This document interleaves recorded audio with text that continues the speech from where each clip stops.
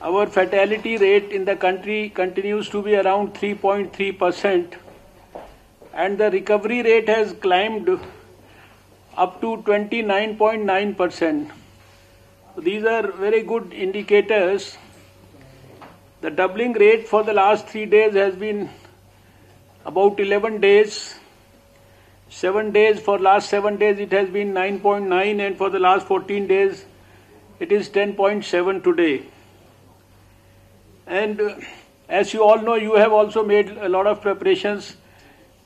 We do not anticipate a very worst type of situation in our country like many other developed countries, but still we have prepared the whole country for the worst situation. And just to give you a feel of what our uh, countrymen have done in various states, you know we have dedicated 843 hospitals exclusively for COVID treatment, which has which have about one lakh 65,991 beds dedicated for that. Please remember that we started our journey about the labs from one lab in the country in Pune, which was in fact doing this particular test.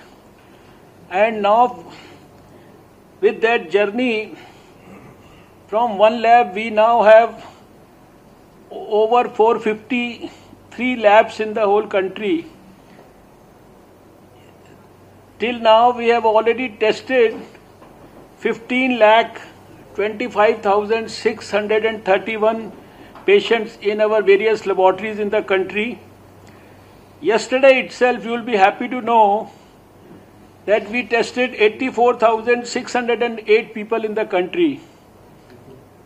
And our testing capacity and capabilities right now for doing about 95,000 tests in the country